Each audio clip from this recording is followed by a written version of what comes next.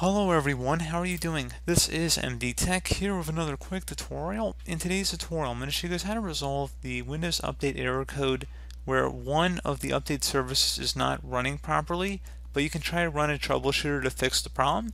So this should be a pretty straightforward process guys, and we're going to go ahead and jump right into it. And we're going to start off by opening up the start menu, type in troubleshoot, best result should come back with troubleshoot settings, go ahead and open that up. Select additional troubleshooters on the right panel here and left click on it.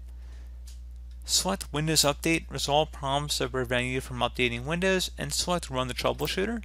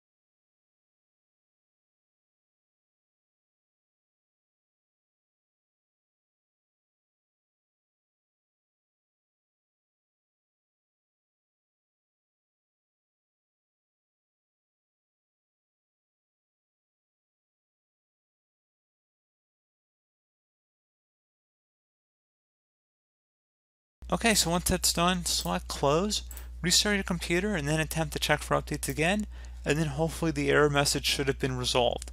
So as always, thank you guys for watching this brief tutorial. Do hope I was able to help you out, and I do look forward to catching you all in the next tutorial. Goodbye.